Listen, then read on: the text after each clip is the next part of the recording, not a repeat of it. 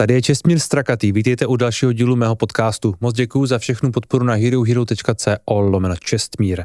Dnes je mým hostem profesor Tomáš Halík, katolický kněz, teolog, religionista, sociolog, psycholog, filozof. To vše v jedno. Vítám vás, dobrý den. Děkuji vám, dobrý den. My jsme začali, vy jste se pokřižoval, to je... To já vždycky začínám, abych e, se odvolal k té vyšší síle, aby mi pomáhala. Pomáhá? I v, Pomáhá. I v rozhovorech? Hmm, hmm, hmm, ano, ano, ano. A A klid takový, to je důležitý. Hmm. Znepokojuje vás teď znovu stav světa? Strašně. Strašně. Myslím si, že svět eh, přinejmenším od druhé světové války, a tu já zase nepamatuju, eh, nebyl tak rozdělený, tak blízko zase nějaké nové válce. Eh, znepokojuje mě velmi. Hmm. Vy jste nedávno podepsal výzvu vládě, která tematizuje situaci v pásmu Gazy, respektive to, co tam právě teď dělá Izrael v reakci na to, co se stalo 7. října po útoku hmm. teroristů z hnutí Hamas. Eh, já jsem si potom, co jste tuhle tu výzvu petici spolu s dalšími, mimo jiné třeba biskupem Malým a dalšími podepsal, přečetl, že to je seznam antisemitů. V jedné, v jedné z těch reakcí, které byly od v celku i rozumných lidí, řekl hmm, bych, hmm.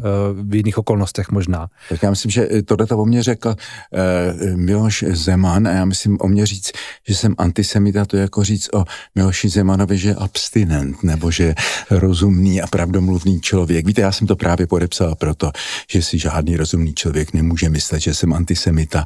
Já se desetiletí velmi intenzivně věnuji mezináboženskému, mezikulturnímu dialogu proti všem formám antisemitismu jak doma, tak v zahraničí. Dostal jsem ve Varšavské synagoze eh, čestný titul člověk, člověk smíření, smíření a tak dále. Takže eh, já skutečně i v téhle té situaci jsem na té straně Izraele a jasně jsem to řekl, že eh, prostě to byl neospravedlnitelný útok toho Hamásu. My jsme hned druhý den měli v kostele takovou bohoslužbu za ty oběti, to všechno je jednoznačné, ale e, na druhé straně, e, a v tom daleka nejsem sám, já sleduju skutečně ta světová média, jsem v kontaktu s diplomaty, politologi, takže oni říkají, ta odpověď Izraele je nepřiměřená. Já myslím, že e, tomu Izraeli se podařilo bohužel splnit přesně to, od tomu Hamásu šlo. On chtěl vlastně vyprovokovat takový útok, že eh, nakonec se dostane Izrael do mezinárodní izolace, dostane se vlastně do pozice toho druhého vyníka a tak dále. A to se dneska bohužel stalo. Já si myslím, samozřejmě těžko radit, že, ale že asi kdyby v té chvíli po tom útoku se nějakým způsobem koordinovaly ty rozumné síly i na té arabské straně, i na té arabské straně je spoustu těch, kteří mají dost toho Hamásu a kteří hmm. vlastně chtěli se e, zblížit s tím Izraelem. A ten Hamas to dělal právě v, toho, v tuhle tu chvíli, že aby e, aby zmařil tohleto zblížení s těmi arabskými zeměmi. Já myslím, že tam je nějaká perspektiva. Teďka jsem hovořil skutečně i s těmi e, diplomaty a říkají, no trošku se něco takového připravuje, že ty rozumné arabské země řeknou, no je třeba stáhnout ty radikály na obou stranách. Jak ten Netanyahu prostě to nejde touhletou cestou, snad tam budou nějaké rozumnější síly i na straně Izraele, ale i na té straně arabské budou lidé, kteří asi eh, nabídnou nějakou alternativu té zprávy toho území, možná za pomoci těch ostatních arabských států. Je to strašně těžká věc. Jo. Eh, naštěstí nejsem v situaci, abych eh, to nějak rozhodoval nebo radil, ale prostě ta naše výzva byla, nedívejme se na to jednostranně. Ano, Izrael má právo na obranu, ale ale nesmí to jít prostě do e, takových, protože tam je potom podezření, že e, ta izraelská vláda trochu se přiklání k tomu, čemu Eduard Beneš říkal vylikvidovat, jo, že se chce zbavit vlastně e, těch, těch palestinců tím či oním způsobem, je to pochopitelné, ale z hlediska mezinárodního práva je to nepřijatelné.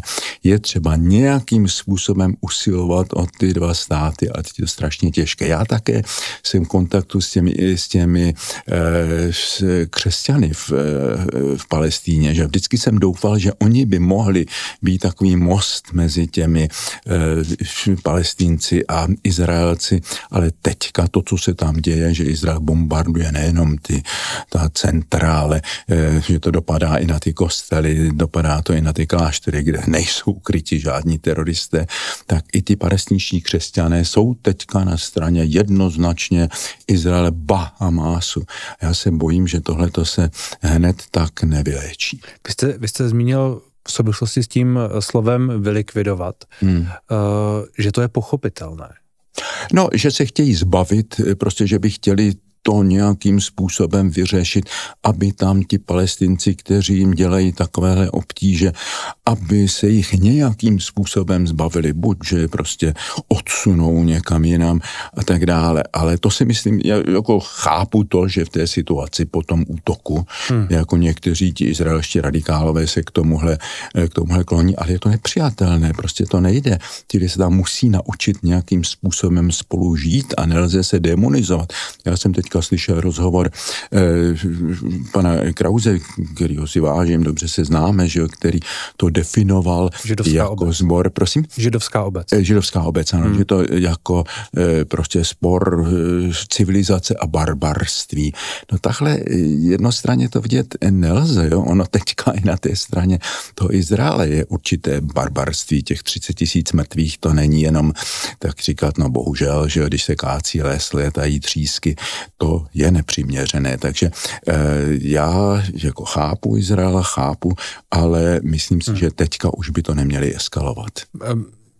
Myslíte si, že vám je nasloucháno v reakci na to, co jste, co jste napsali v té výzvě? Petr Fiala jo. uh, napsal, tady jde přece o to jasně věci pojmenovávat a jasně rozlišovat mezi tím, kdo je v tomto případě oběť hmm. a kdo je viník. A, my, a dále to co, to, co se v petici vytýká české vládě, není ve všech směrech pravda. Mm.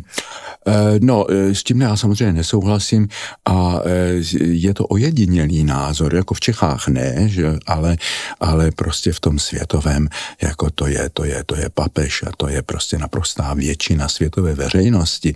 I američané, kteří jsou velcí a největší spojenci Izraele, už říkají tak už dost, to už je nepřiměřené, takže já si myslím, že to nebylo moudré ze strany Petra Fialy, že třeba ano, stojíme za Izraelem, staly se hrozné věci, ale eh, nemůžeme říct jenom jedna strana je vyníkem. Nejenom ten, kdo si začal, a to jasné, jestli tam začali eh, ten Hamas, ale i ti, kdo nedovedou včas přestat, tak potom, jako víte, jedna věc je vojenské řešení a druhá věc je potom to psychologické řešení. Pak zůstávají na generace eh, ty rozbité rodiny a ty vztahy a tak hmm. dále. Já jsem se účastnil několika takových v v jižní, eh, v Africe, že jo, toho, jak tam se eh, řešily ty otázky po apartheidu. A mě to strašně zajímá, protože to je vlastně ta vize papeže Františka, která je mi blízká, že církev má fungovat jako polní nemocnice a že má přijít i tam, kde třeba po nějakých válkách, po nějakých konfliktech je ta společnost rozbitá a usilovat o nějakou formu smíření, ty lidi musí prostě žít spolu. No, to je samozřejmě Ukrajina a Rusko, tam je to ještě jasnější, že?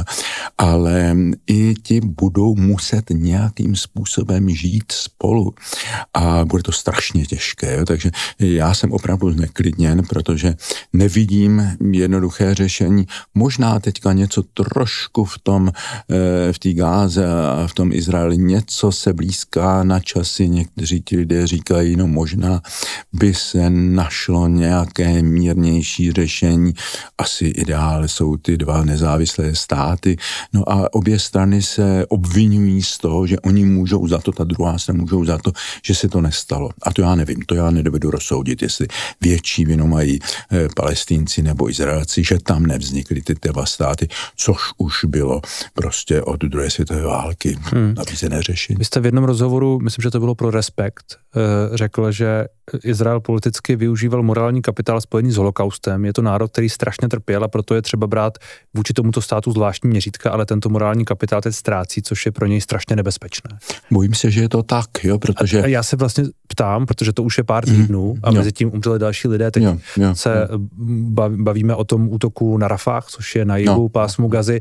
Ta diskuze už začíná být poměrně, poměrně vyostřená. Ano, to je ještě toho vše, co jo, jestli, jestli, jestli ještě udeří eh, tímhle tím způsobem tam na to centrum těch palestinců, no tak ještě více si, eh, jak si poštvou tu světovou veřejnost proti sobě. A já jsem byl šokován, že mladí lidé všude možně jsou na straně Palestíny proti Izraeli.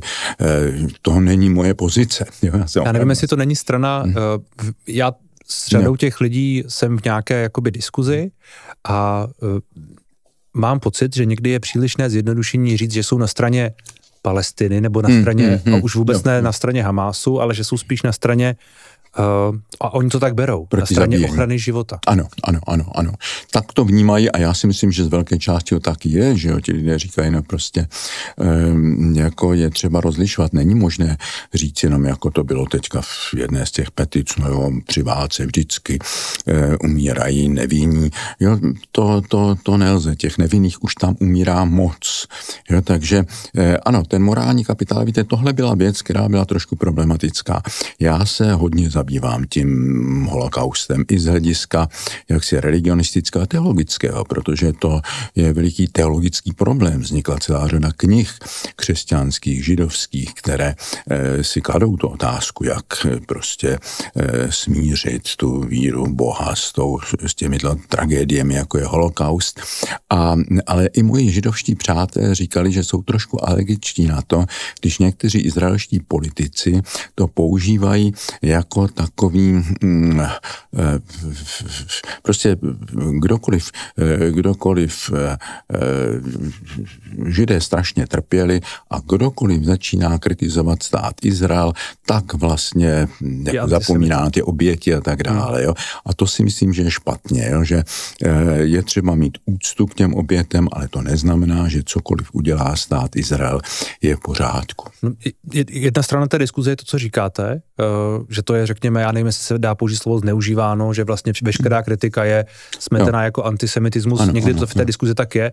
Na druhou stranu, druhá strana té diskuze je, že tu je objektivně enormní nárůst, nárůst toho opravdového antisemitismu. To je šílená věc. A to vidíme, šílená. to, vidíme to vlastně všude, všude po světě, že ty věci se jakoby dějí. Na jednu ano, stranu ano, ano. Eh, je to smazáváno, na druhou stranu hmm. filozofická otázka možná je, uh, je to i otázka mezinárodního práva samozřejmě, ale je to i filozofická otázka, vy jste to zmínil. 7. října se něco stalo, to bylo hrůzné, neospravedlnitelné a tak dále. Uh, ti lidé, kteří to provedli nebo kteří to zorganizovali a tak dále, se uh, podle těch mnoha zpráv skrývají let, kde v pásmu Gazy tunely jsou pod dokonce organizací OSN pro hmm. palestinské uprchlíky, tam byla celá hmm celý systém tunelu pod, tím, pod, tím, mm. pod tou jejich budovou. Uh, co tedy by měl vlastně Izrael dělat, mm. uh, aby přišla ta odplata, která asi přijít musela nějakým jo, způsobem, jo, jo. Uh, ale aby nestratil to, o čem se vlastně bavíme. Mm. Já vím, že někde je nějaká hranice, kde už to mm. prostě je mm. strašně moc. A ta asi byla pře- překročena, já vlastně nevím. Vy říkáte, že podle vás ano. Uh, jak se na tohle vlastně dívat, na to, kdo, kdo, kdo, si, kdo si začal? Jo. Protože ta jo. diskuze jo. můžeme se vracet mm-hmm. do 40. let, jo. do 50. let, do, a v té diskuzi to takhle jo. probíhá. V tomhle případě si samozřejmě začal ten Hamas, že ono to taky nespadlo z nebe, že ta politika Netanyahova eh, jako přiostřovala ten konflikt, že a povzbuzovala jednak eh, ty eh, izraelské osadníky na těch okupovaných územích a také jak si eh, vlastně eh, ráda eh, občas podpořila ten Hamas proti tomu Hezbaláhu, aby vlastně mezi těmi palestinskými palestinci nebyla nějaká jednota pro ten palestinský stát. Jo. Takže ten Netanyahu, nechci říct Izrael jako takový, ale ten Netanyahu si také trošku přisadil. Jo. Ale to, co překročilo, to byl ten útok toho Hamasu, to je neospravedlnitelné. Samozřejmě je strašně těžké radit, co v té situaci má ten Izrael udělat.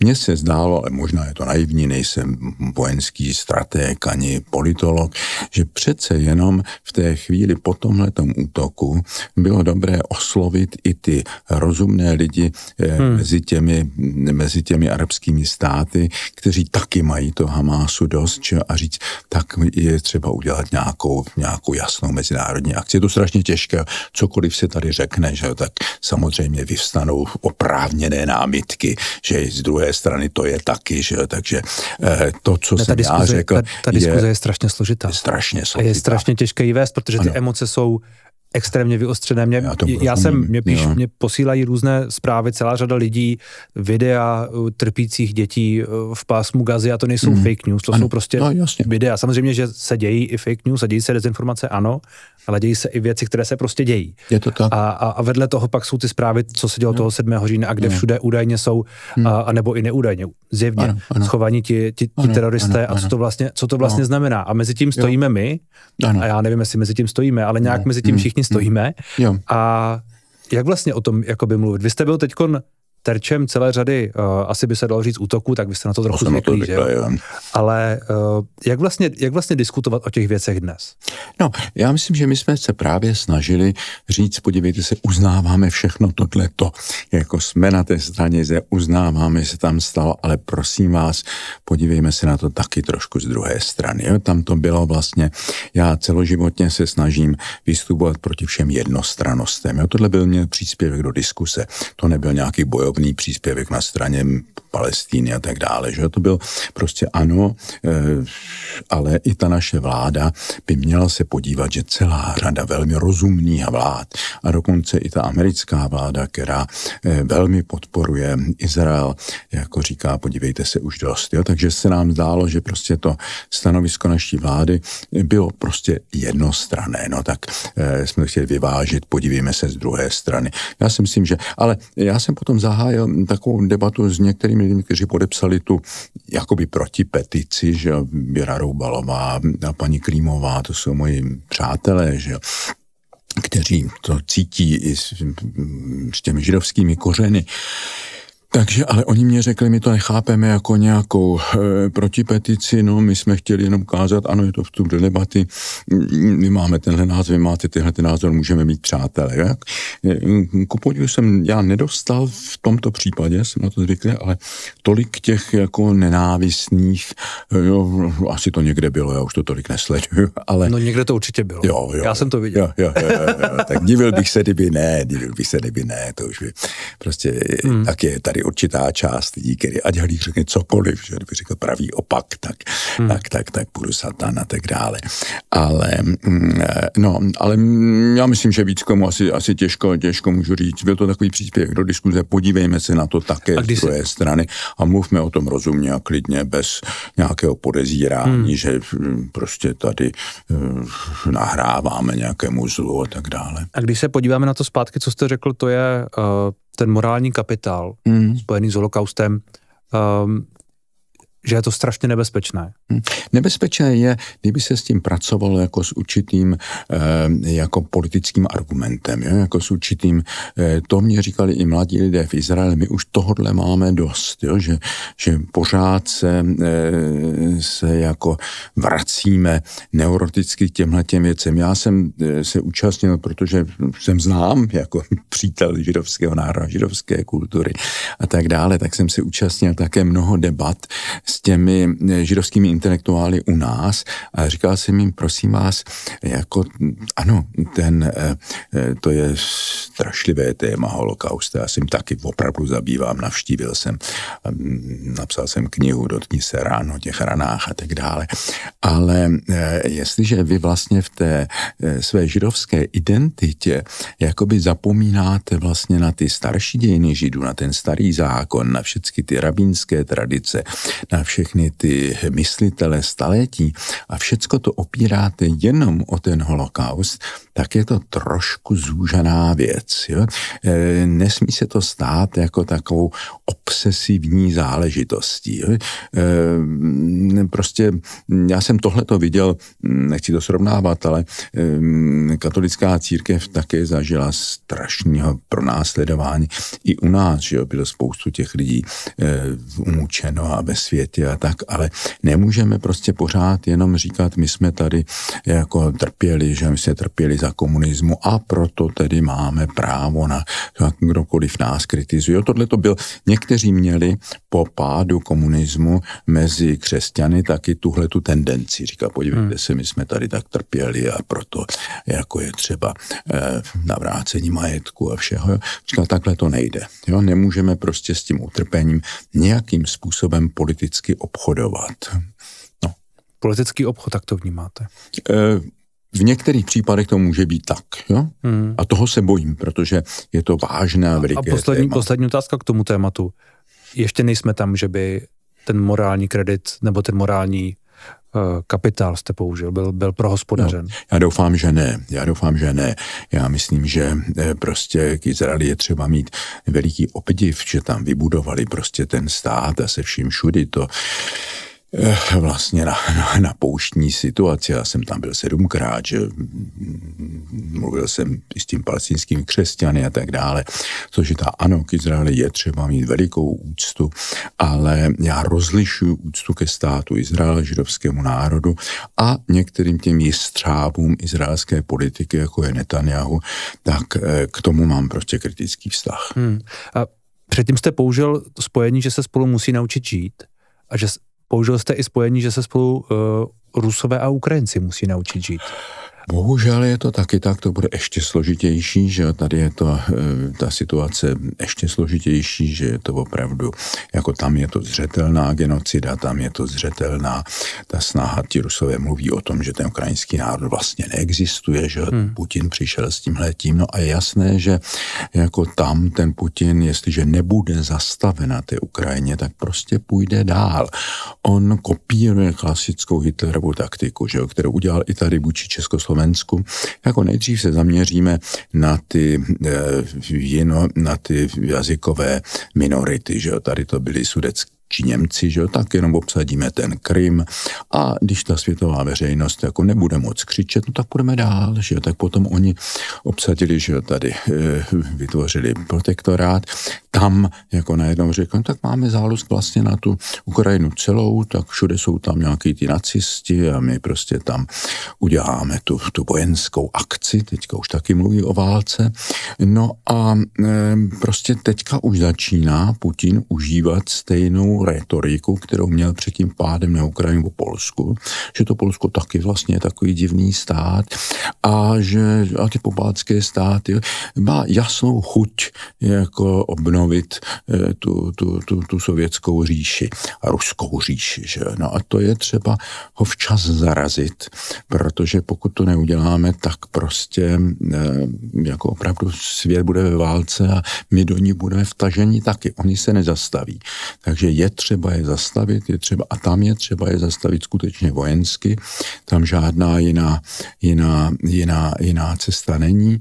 No a obávám se toho, protože ta, ta, ta podpora Ukrajiny eh, kde slábne, že jo, jestliže přijde eh, v Americe eh, k moci takový psychopat, jako je Trump, že, takže na toho čeká samozřejmě Netanyahu, že na toho čeká Putin, na toho čekají mnozí. A to by byla katastrofa veliká. Mm. Jo, pak by Evropa musela úplně přehodnotit svoji politiku, protože pak bude konec jako nějakého demokratického západu. Amerika si pojede na sebe, ale dopadne velmi špatně, protože je vnitřně šíleně rozdělená, že vzdělání lidi, uvažující lidi jsou jasně proti Trumpovi, ale bohužel všude na světě mm, jako vítězí, vítězí populisti. Viděli jsme to na Slovensku, to je tragédie, jak lidé tam přišli k moci, že vidíme to Orbán, ten vyloženě se chová jako zrádce Evropy a jako, jako Putinův pacholek, takže to je, to je prostě podminovávání té evropské jednoty, která tady byla od druhé světové války vytvářena, zaplať pámbu, že my jsme její součástí, no ale jsou tady lidé, kteří to pořád podminovávají, no a otvírají cestu prostě té e, ruské chuti pomoci. Hmm. Máte pocit, že tady v tuhle chvíli je uh, dostatečná vůle uh, udělat to, co je podle vás třeba? Eh, teďka se ptáte Zastavit na to, Rusku. konkrétně. Zastavit to Rusku. No. A myslíte jako u nás, nebo ve světě, nebo? Když říkám tady, tak asi myslím v tom světě, který to má udělat, nebo může udělat. Asi. Jo, bavíme no. se o kolektivním západu, řekněme. Bavíme se asi o, hmm, o Evropě hmm, hmm zejména. No, e, jako myslím, že zásadně ano. Jo. U těch teďka bylo setkání, že vrcholných politiků západu, kteří řekli, nepolevíme v té, v té, v té, v té obraně. Samozřejmě nebezpečí je, je ten Trump, že, který prostě říká, no, tak, abych tu Evropu klidně eh, odepsal. Že, když, ano, Trump je, Trump je ale daleko, ale vedle toho tady je Robert Fico, hmm. který teď v těch posledních projevech no, no, no. v podstatě říká, a teď to velmi parafrázuji, ale něco jako Putin vlastně není tak zlý no, a má v čem pravdu. A to myslím, že ani není příliš přitažené za vlasy, možná mu... Vůbec ne, tam mají, tam mají prostě toho e, druhého politika, jak se jmenuje, který prostě e, velebí Husáka, že hmm. velebí Rusy a zcela jasně mluví pro rusky a proti americky, že tak to je, to je šílený, to znamená prostě, že e, ten, to, to Slovensko by se prostě otrhlo od toho, tady skutečně bych užil to civilizovaného státu, civilizovaného světa a že bude vydáno prostě mm, těmhle těm strašlivým silám. Jo? To je, já myslím, že tam... A není jim už vydáno teď? Eh, no tak naštěstí je tam přece jenom jako silná opozice. Všichni ti vzdělaní lidé na Slovensku, mladí lidé na Slovensku, jako ti e, vidí, že ten Fico to je prostě děsné, že, jo? že to jsou lidi, kterým jde především o to, aby si získali imunitu, protože v normálním státě by seděli na lavici obžalovaných, ne v kriminále, že jo? to jsou e, a, a takových lidí je hodně podobnou, podobné situaci je Trump. Že? To jsou lidé, kteří nad nimiž se vznáší prostě různé, různá, různé obžaloby a kteří jakoby rádi měli tu imunitu. Že? A takže to, je, to, je, to je nebezpečné, když někdo jako usiluje o to, aby byl prezidentem nebo eh, ministerským předsedou, ne proto, aby sloužil své zemi, ale aby unikl kriminálu. Že? Hmm. No a nemůže zlo prostě vyhrát? E, možná, možná příliš silné slovo zlo, ale jo. Uh, jo. Jak, jak, víme, jak víme, že dobro prostě vyhraje? Řekněme, no. řekněme že pro v, v rámci této otázky dobro a zlo jsou jasné. Jo, jo, jo. E, v, e, věříme v to, nevíme to a, a není to jaksi předem rozhodnuté. Já věřím, že v tom eschatologickém, v tom posledním, že jako to, to zlo nemůže mít poslední slovo, ale v těch dějinách může nadělat spoustu, e, spoustu zla. Jo, ta, ta, ta křesťanská naděje je něco jiné než optimismus. Optimismus je taková iluze, že to dobro vždycky zvítězí, že vždycky to jak dobře dopadne. E, to je logika pohádek, to není logika evangelia. Evangelium tam ví o tom kříži, ví o těch a, a to vzkříšení to není jenom nějaký happy end, jo, to je proměna. Takže e, já si myslím, že to tragické patří e, prostě ke světu, vzít na vědomí tu sílu té tragiky a zla patří i ke zaralé víře já hodně teďka mluvím o tom, musíme odložit takovou tu dětskou pohádkovou víru v toho bambička někde tam nahoře, za který to všecko za nás e, zařídí. Je třeba dát nějakou zralou víru a ta se opírá o ten příběh Evangelia, v kterém je ten kříž.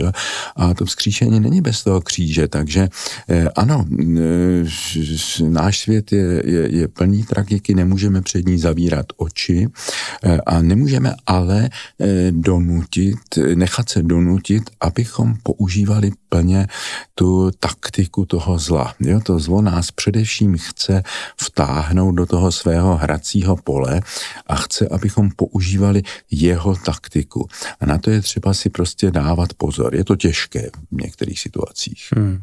Zároveň uh, Robert Fico volby vyhrál. Hmm. Hmm celku uh, jasné, ano. nebo uh, tam velká diskuze o tom, o tom není, má nějaké spojence a tak dále, ale nepochybně tam je poměrně velká část uh, společnosti, která prostě chce Roberta Fica a asi hmm. není úplně překvapená tím, co teď, co teď říká. Podobně Orbán v Maďarsku, kde se mluví o tom, že tam je nějakým způsobem už ovlivněno to, jak ty volby probíhají, média, je to všechno, je to, uh, není to úplně tak jako u nás, řekněme, no, no, no. Uh, ale ti lidé ho taky podporují. Tak jako a to Donald Trump taky může ty volby vyhrát, protože ho prostě polovina Američanů zvolí. Já eh, hájím to, že většina se většinou mílí. Je strašně důležité, aby lidi se nenechali tím úplně strhnout a aby tady byly nějaké osobnosti a aby je bylo celkem vidět, kteří ukazují jinou kulturu myšlení.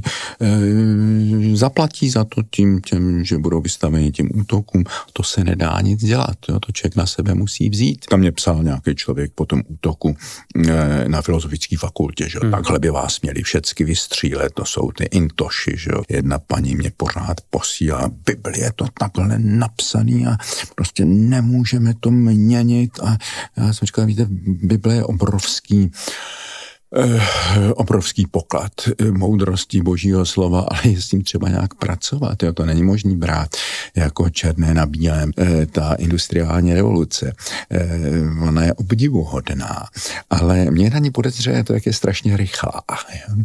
Jak ona tam nemá ten moment jako té kontemplace, toho zamyšlení. Jo? A to si myslím, že je to specificky lidské, hmm. kde se nesmíme nechat nahradit. Jo? To ona to je nejdřív chápá vnímáno jako pro, v rámci církve, ale já si myslím, že je to model pro lidstvo jako takové. Hledat tu společnou cestu.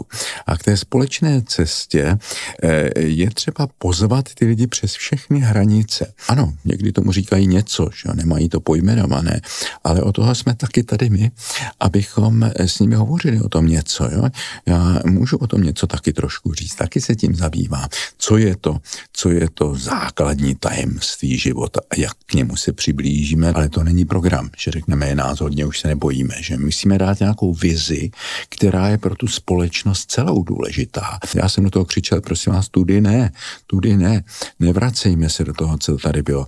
Musíme nabídnout jinou tvář toho křesťanství. Vím, že eh, jako to, co je v životě důležité, eh, je spíš to, co eh, jako máte v hlavě a v srdci, než to, co máte na té hrudi. No jo, a, a říkám, lidi, prosím vás, jak jako dávejte si pozor na to, co si přejete. Když je to dobrá věc, jo, tak jako ten hmm. vám to dá a dá vám to asi úplně jindy a jinak, než si myslíte.